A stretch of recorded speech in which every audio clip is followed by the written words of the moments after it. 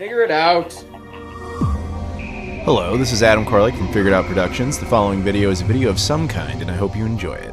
Hey guys, it's Adam here, and welcome to Playloads. This is all my video game pickups for the month of January 2020. Uh, welcome. Strange month. Uh, got a lot of video game stuff and a lot of stuff that isn't really video games. Like, look, there's a Bob Ross action figure. We'll get to that. But uh, also just weird month in general. Uh, I was sick for a good chunk of it. I was all over the place.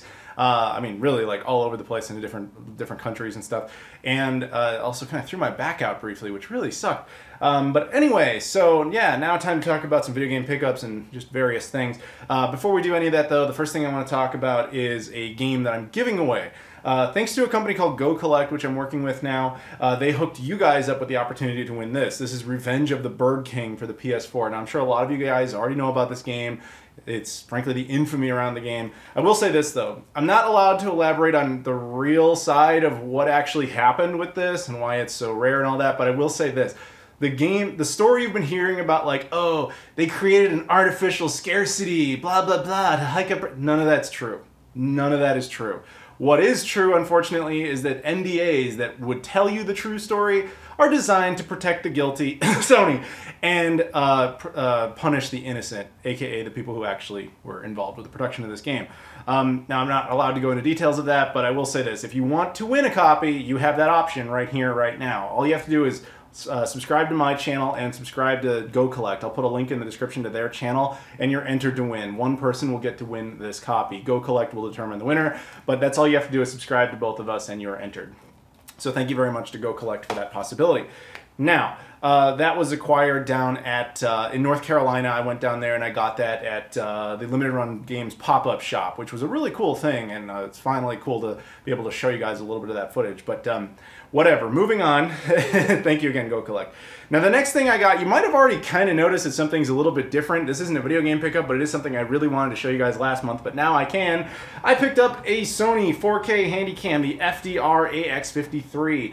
Uh, yes, I got a new camera. Oh my god, it actually happened. It's time. You know, we're in the future. It's 2016 now. this is a four-year-old camera, but it's still really good. I got this recommended to me by a bunch of different YouTubers, so finally I'm able to upgrade the camera. So yay, everybody can enjoy that. For all that 4K goodness of the wall and the shelf.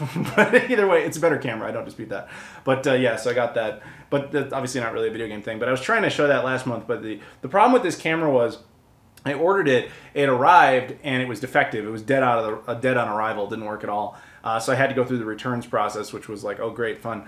But uh, then it arrived, the second version, and now it's fine. Everything seems to be okay. So yay. Um, so cool. Now let's move on to some actual video games. Uh, the first one up was sent to me by GG Retro Gaming. This is uh, Spyro Year of the Dragon or Spyro 3 for PS1. GG uh, Retro Gaming actually just informed me like today that uh, they're no longer going to be doing things through their own website. They're going to start doing things through Amazon and eBay. So this is kind of a remnant of their previous era. So I guess just a shout out to GG Retro Gaming, and they're starting to move over to this uh, to TikTok for their social media outlets. So congratulations to them on their success, and I wish them well. But either way, thank you very much for hooking me up with Spyro Year of the Dragon. Um, after that, I got a random stack of Xbox games uh, because I've mentioned before that I uh, have been trying to get a full set of original Xbox games. This, but in this case, that wasn't actually my goal. There is something in this pile I actually did want specifically, uh, but it didn't pertain to the original Xbox. I just happened to find these while I was looking for said item. So let me go through these games real quick. Um, nothing really special as far as the Xbox goes. Amped 2, which was an original Xbox exclusive. Uh, Burnout 1. ESPN College Hoops aka uh, 2K4. Um, Frogger Ancient Shadow,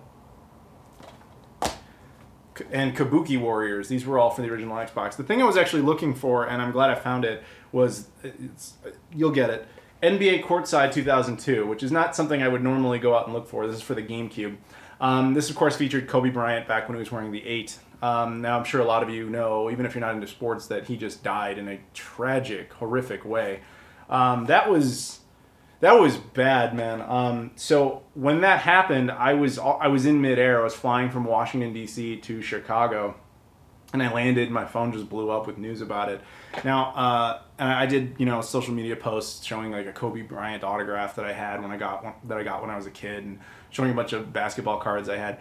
Um, a lot of people saying like I had no idea you were like a big uh, sports fan. I'm not really a sports fan, but more of a basketball fan. I mean, I grew up in here in Chicago in the '90s during the Jordan Bulls era, so it was gonna that was gonna attach itself to me. And despite being like a huge Bulls fan, you know, and obviously Jordan was the guy. I've never liked the Lakers as a team, but I, I respected always respected Kobe Bryant, and, and even in that, you know, I've always thought the NBA went from the Jordan era to the Kobe Bryant era to the LeBron James era. And to have Kobe Bryant be gone only like two years after he retired is just kind of insane. Um, that was that was intense. I couldn't believe it. And then of course all the other people who died on the, the helicopter crash, including his, one of his daughters, just horrific, man. So uh, you know, I remember I got to see him play in person just one time. Uh, one of his earliest years was the the 98 season when the Bulls won their last title. The time that the Lakers came to Chicago, I saw one of the few times that Jordan ever played against Kobe directly. I was at that game uh, in Chicago. Uh, and I just I, I just remember Kobe doing this like pinwheel dunk like in midair and just stunned me. Um, I was like, wow, that's like the second coming of the same guy who's already on the court right now. That guy's gonna do big things, and he did. He really did. Um, so even if you're not a sports fan, it's just tragic that the, the way in which someone like that would go out is just just reminds you, man, like stay humble and stay happy and try to enjoy life while you can because even with all that kind of success and power and fame, stuff happens. And you can just you can just be it can be snuffed out. And it's um you know go hug go hug a loved one tonight okay? Because that was that was some intense intense stuff. But I didn't get this because oh all the Kobe games are going up. I mean that's unfortunate reality of stuff that's happening, but that's not why I got it. It was just my way of kind of paying my respects in addition to like social media posts, which are just a way to you know mourn. This was to pay respects, was to just go out and be like you know I'm supporting you as one more time as best I can. So yeah. Anyway, got that. Uh, moving on, as I mentioned, I am I am a big Bulls fan, or was. The current Bulls iteration is terrible. But um, I was in Guam earlier this month. Um, I've been to a lot of places this month already, but I was in Guam briefly, and I went into an ABC stores. Now, if you've ever been to Japan, Guam, or Hawaii, I'm sure you've seen these because it's a big chain in those areas. I think I've seen a couple in like you know Southern California, but it's not super common there. It's basically like a Walgreens, like a drugstore type of thing. They sell touristy stuff, but also just like you know over the counter everything, and a little bit of like local merch. Um, you know, and in this case, they I saw something that just caught my eye. Uh, it was this hat, which I don't usually buy hats, but I was like, oh cool, a Chicago Bulls hat. You know, the Chicago Bulls logo is everywhere. You'll see it in countries all over the planet cities everywhere. I mean, I see people walking around in Cuba with these things. You know, it's just wow. Okay, the Bulls are beloved. Awesome. Um, it's like that, and the Lakers are the ones you see all the time. But then I looked at it a little closer, and I noticed it said Guam Bulls, and I was like, it doesn't mention Chicago anywhere on the hat. And then I looked at the, the logo it was Hong Ding Cap Snapback High Definition Fashion. This is a very cheap Chinese like pirate hat, like one of those ones that you would uh, you know you would do Google images and see like that Obama Sonic Harry Potter backpack. You know what I'm talking about? Like just one of those fake pieces of merch that's just meant to get your attention. I was dumb enough to actually buy it because I just thought it was so hilarious. I was like, okay, so my beloved Chicago Bulls couldn't survive in the third biggest U.S. city market. They had to be relocated to Guam. I don't know. It was just hilarious to me, so I just had to have it on that basis. Um, but yeah, I know you guys aren't into sports, but whatever. It's just stuff I want to talk about. But moving back on to video games. So I went out to California uh, specifically Los Angeles. I actually had a gig out there. This is kind of cool, by the way. Check this out. I'm going to be doing. I did the voice of Soren for a new Magic the Gathering game called Mana Strike, so you can go ahead and check that out. And I also got to go down to the Warner Brothers lot, which was awesome. But a buddy of mine convinced me, he's like, dude, fly out to San Francisco instead. I'll pick you up. We'll do some stuff, and I'll drive you to LA because then you'll have a car in LA as well. And I was like, okay, fine. So when we got to San Francisco, uh, he was like, "Oh, there's this little like game swap thing happening. Do you want to go check it out?" And I was like, "Sure, whatever." So we went to that, and uh, a lot of people were surprised to see me there because it does happen. That's the only place I really ever get noticed is like, "Oh, dude, I watch your channel. What are you doing here in this random like? Are you local?" Everyone thinks I'm local from everything I'm at because I'm always at random stuff that I have no business really being at. But anyway, no. Uh, so I walked around this swap. I didn't really find anything I wanted until I randomly stumbled across one item, which was this Sega Genesis controller. And you're like, You didn't have a Sega Genesis controller? No, I got a million Sega Genesis controllers. In fact, even pulling the trigger on this felt really stupid. But I looked at it and I was like, there's something weird about this because it's like the official molding and it has the official colors, but then it's like it's got Mega Drive colors, but it's not a Mega Drive controller because it doesn't actually say Sega on it anywhere. So I was just really kind of perplexed until I looked on the back and I saw this. It's a Blockbuster logo, Blockbuster Video logo specifically, and I was like, was this like a rental controller at Blockbuster? What is this? And I did a little digging and I found out that what this actually was is at one time Blockbuster was making their own third-party Sega Genesis controllers. And I was like, that's cool. Um, as someone who's become somewhat nostalgic for Blockbuster, especially. Now, the controller itself is nothing special. It, you know, it's just it was a cheap little controller I bought there for a few dollars, but just cool because it was actually Blockbuster. I may not keep this though. There is that one last Blockbuster in Bend, Oregon that I did a video on. I'm sure you've seen a lot of my. I wear this Blockbuster hoodie all the time because I bought it there and I love it. It's in a lot of my social media posts. But um, I've been thinking about if I ever get to go back to that Blockbuster, I might donate this controller because they have like this little museum of stuff that was exclusive to Blockbuster, but there's almost no representation of video games in there. So having like the official like Blockbuster Sega Genesis controller in there might be kind of cool. But really, that was just I got it more to preserve it than to actually use it. Um, so moving on. Uh, it's, let's see, where, where else can I start here? Let's let's stick with the video games for a bit. Actually, we'll switch to something that's not video games and then go back to video games. Um, this is as about as random as it gets. On the flight to, uh, so when I was going to Guam, you have to go from Chicago to Japan, Japan down to Guam. Um, so on the flight to Japan, uh, I I was sitting in the back and I got I actually ended up sweet talking a flight attendant into hooking me up with this. this is a random uh, in first class. What they're doing right now for United is that they're giving away these like Star Wars Rise of Skywalker's swag bags.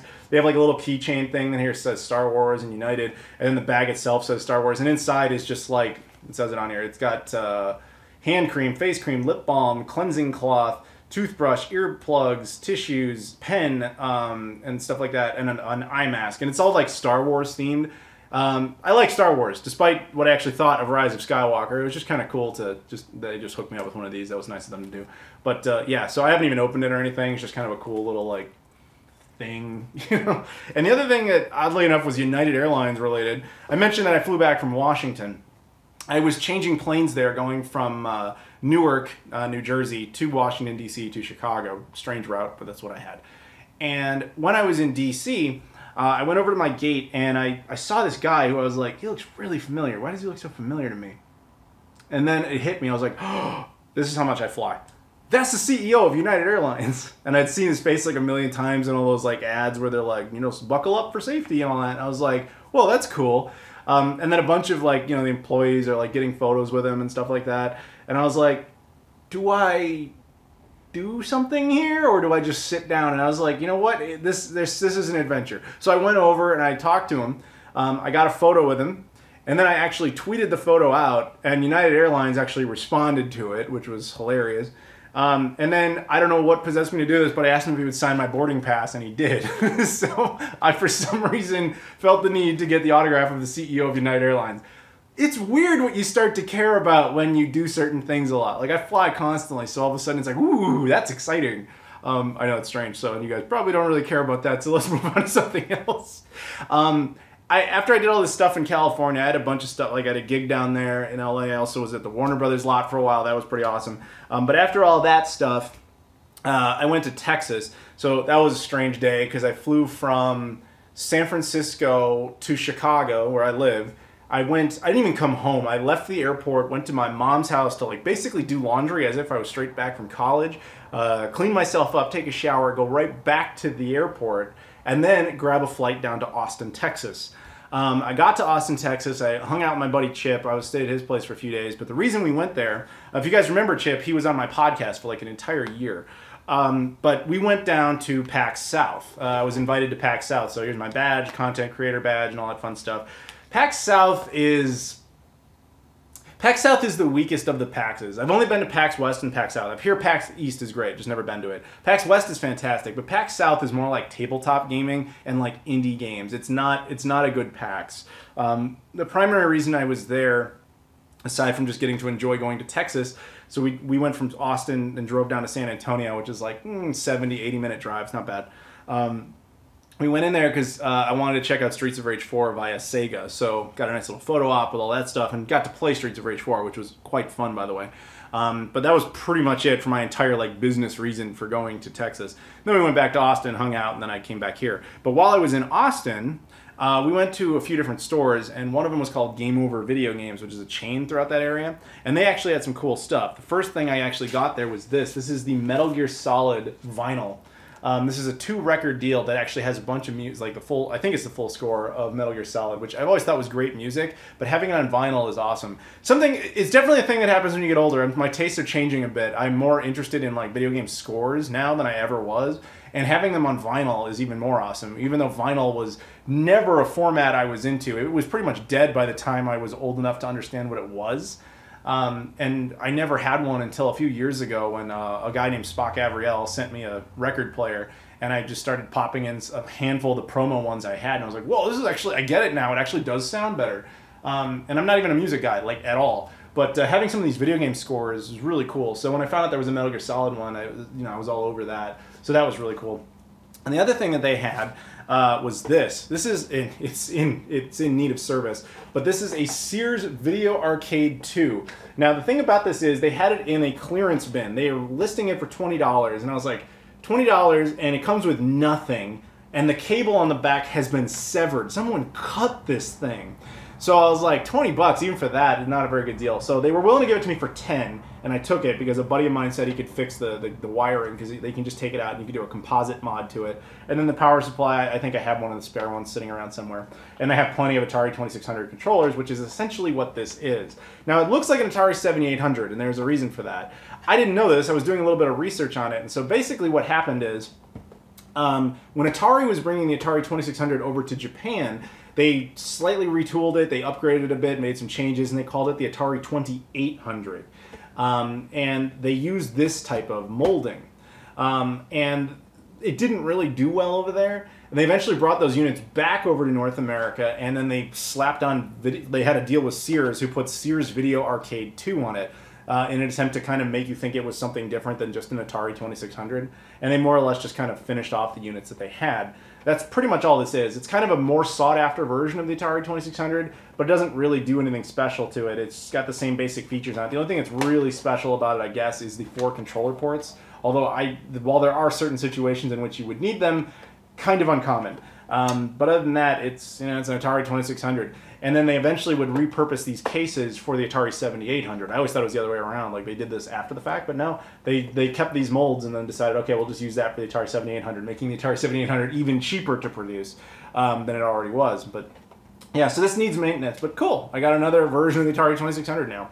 Uh, so moving on, uh, I okay. So now I got some packages here that we're going to look at. Uh, first one comes from Castlemania Games. Uh, now he's been sending me a bunch of these lately, and I want to show them to you guys. Uh, I already showed the uh, first one.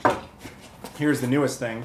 This is, and I'm sure you guys saw it before, the Brawler 64. Now, I did an entire video of this originally for the N64. However, this one is specifically for the PC, Mac, and Switch. This is USB based. So if you liked that controller, you can now use it on those platforms. So this would be good for like, you know, emulating the N64 on a PC or whatever, or if, you know, there's any type of uh, N64 game that gets put onto the Switch, or if you just like the controller in general, you'd have that option now. Because, you know, even though it's more or less designed for the N64, it would still work with things that are not N64 games. It's just that that's where it would probably feel the most natural.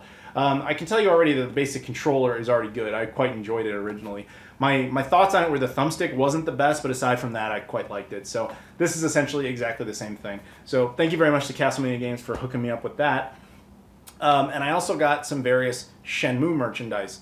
Um, my buddy Jerry, uh, who lives out in California, uh, he hooked me up with some random. Oh, he hooked me up with a random thing A bunch of Game Stops over there are going out of business, so he was friends with some of the people who run them, and he got me this. I have a few of these. This is a just a, a piece of art that would go inside of a pre-order case uh, for Shenmue 3 at GameStop. So it's the Shenmue 3 artwork, but at the top it's just the way GameStop would display it and has the GameStop logo and stuff on it. Um, these were never even used. He, he had like 10 of these, so he gave me like five of them. Um, I might do a giveaway with one or two or something like that later. I don't know yet, but that's what it looked like. So it's cool to just add that into the Shenmue 3 collection.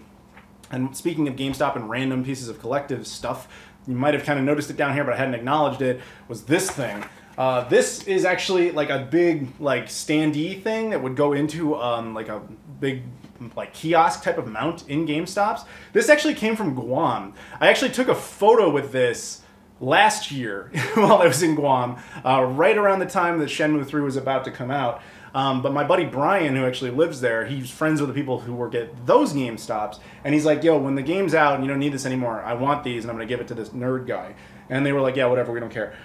and so thank you, Brian. So when I was in Guam this time, he had it for me, and I actually brought it back. It got a little damaged on the return, but that's you know I just didn't have a bag big enough really to fit it, so it was just kind of like keeping it in my backpack and hoping to not mess it up too bad. But either way, it got back here. I've got it now. So thank you very much to my buddy Brian for hooking me up with that. Um, so cool, yay, Shenmue 3 stuff. And speaking of more Shenmue 3 stuff, I wanted to show this last month, but it didn't arrive in time. This is the Shenmue 3 Pix'n Love edition for the PS4. This is a French collector's edition of Shenmue 3. Uh, it uses a green art scheme, which I find kind of confusing because it implies that it's like an Xbox version when it's definitely not. There is no such thing. Um, but they, I guess they didn't go with blue because the, they did a Shenmue 1 and 2 collector's edition uh, that was all blue, and maybe that was like a decision in there somewhere. Like they didn't want it to look the same. I don't know. I feel like even though I like the green design, I feel like it's a tad confusing because it's not even a central theme color of the game. Uh, blue is just kind of what they've been going with. Um, but you know, maybe it's meant to represent Lan Di. I don't know. But either way, or the the, the mirrors possibly. But regardless, it uh, it is definitely cool to have this addition in the set because I it is a goal of mine. I want to try and get every version of that game. And speaking of that possibility, um, a buddy of mine in the UK, his name is Skill Jim, or that's the handle he goes by, sent me this. So we're going to go ahead and open it up, and it should have some random other goodies in it, although it's packaged rather well, so this might be trickier than I had thought about. But uh, sorry, that was uh, harder to open than I had expected. So let me pull out the guts there. And it looks like everything. We got a little box here. I'm not entirely certain what this is, although I think he must have mentioned it at some point. Oh, yes, he did mention this. This is a, uh, a Sega Saturn PC controller he sent me. I remember him mentioning this now. Uh, this is a USB-based Sega Saturn controller called a Play Sega controller. He said this was made in like the late 90s, I think it was, specifically for PCs of that era. So it uses probably like USB 1 on it. Um, probably nothing I'm ever really practically going to listen to the clickiness of those triggers. Wow, this thing is cherry. so I'm gonna put it back in the bag. But thank you very much uh, for hooking me up with that skill gem. That's just a nice little random thing to add in there to have in the Sega lore. I wonder if it would work on um, like an Xbox One or something like that. I'll, I'll take a look. But uh, the reason he really sent all this stuff was just some various uh, Shenmue 3 um, items, if you will. Uh, first and foremost, he sent me he sent me a bunch of these. What are these? Some oh, these are like pre-order slips for Shenmue 3, the UK version. He sent me a bunch of these. How did you get this many of these? Um, yeah, wow, okay. Well, thank you. These are pre-order slips for Shenmue 3. So they're much like the GameStop one, except that these are the, the UK edition. And there's one, two, three, four, five. Oh, cool. And I have five of the other ones. So we'll do some sort of giveaway at some point. I'm going to do some sort of giveaway. We'll give away some of these. Thank you, Skill Jim. Uh, he also sent me this, which is a different one entirely uh, from some other store. It's another pre-order slip for Shenmue 3. Uh, very cool, thank you. And he sent me this. This was something. This was pretty much the reason we had discussed this whole thing in general. Uh, this is the Russian edition of Shenmue 3. Yes, there was a Russian edition of this as well as the Shenmue 1 and 2 re-release. These are harder versions to get because in general, the Russian stuff doesn't really make its way to the West. Um, but not that it can't, but it just typically doesn't. But uh, yeah, this is the Russian edition, so very cool to add that to the collection. So thank you very much, Skill Jim, for that. Um, so cool. Added more random versions of Shenmue 3 and just other random items. Speaking of random items, though, uh, we got two left. One is not a video game, and one is. The non video game item, I just want to give a quick shout to. I got a Bob Ross action figure, and if you don't know who Bob Ross is, I'm sorry for you. Bob Ross, I don't know where he got all of his popularity all of a sudden. This is a man who was a painter on PBS for like 30 years. And in 94, he died. And out of nowhere, he just got like super popular like three or four years ago. I kind of think Deadpool 2 played a big part of that, but I don't entirely know. Although I do know that I watched a whole bunch of Bob Ross like painting videos, and they're awesome. It's just like, it's like early ASMR, man. It's just like, I don't care how mad you are, sad, whatever you're feeling down. You watch some Bob Ross, you'll feel a lot better. So yeah, they they made an action figure out of him out of nowhere. I'm like, this is awesome. So I had to get that. Um, anyway, just just side thing. But the other thing I got, which was hilarious, So I was in uh, New Jersey, and I was hanging with a buddy of mine named Rob. And apparently, I don't know the, all the details of this, but I guess his dad at one point worked for Panasonic, and they had a Panasonic store. And after the 3DO went under, uh, at one point they had a whole bunch of 3DO inventory just like in the back, and it just stayed there forever. At one point, Rob got to go in there and was just told more or less like, take whatever you want, we don't need any of this stuff. And so he found a whole bunch of 3DO stuff, and he was taking and he was enjoying it. And he found a stack of something extremely strange. And one of them was this. This is a game called Love Bites for the 3DO. This is sealed, brand new. And it was sitting there with a stack of other copies. He had like six copies of this sealed. So, uh, what's the deal with this? This is not a game, but it was officially released. Um, the thing is, the 3DO was desperate for content, officially licensed content. So they did something unconventional, which was they more or less let anybody who wanted to make a 3DO game make a game. The development fee was so low, or the publication fee was so low that pretty much anyone could do it.